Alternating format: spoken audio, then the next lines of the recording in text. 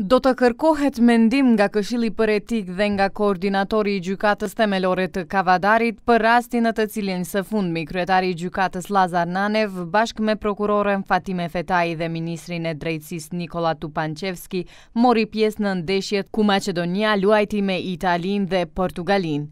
Këtë e deklaroi kryetarja e Këshillit Gjyqësor Pavlina Crvenkovska, e cila tha se ky organ gjyqësor nuk është kompetent për të diskutuar mbi këtë rast. Nuk mund të hapim procedurë për shkarkim sepse ligji na kufizon, shpjegon ajo.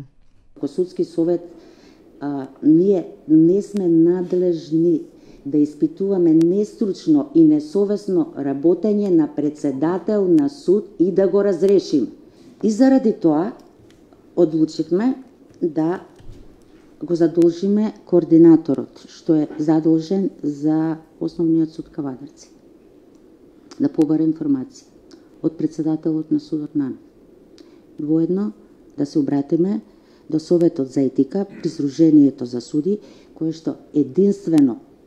Jas ovdeka go imam Kodeksot za etika na sudii i sudii porotnici, kojšto e edinstveno nadležno da dava mislenja. Crvenkovska në takimin e sotëm me gazetarët foli edhe për punën e gjykatave.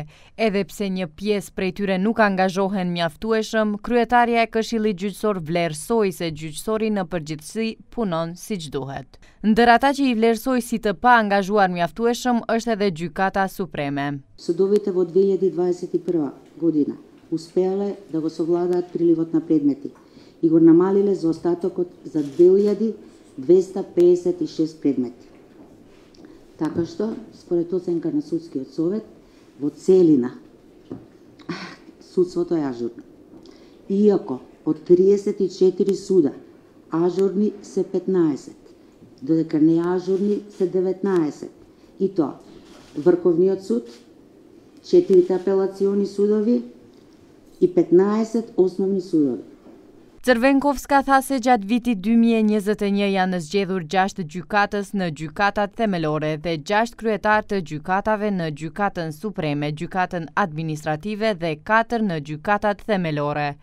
Njëkohësisht tha se janë shkarkuar shtatë gjykatës prej të cilëve pesë për shkak të kryerjes së detyrës në mënyrë të papërgjegjshme dhe joprofesionale dhe dy për shkelje të rëndë disiplinore.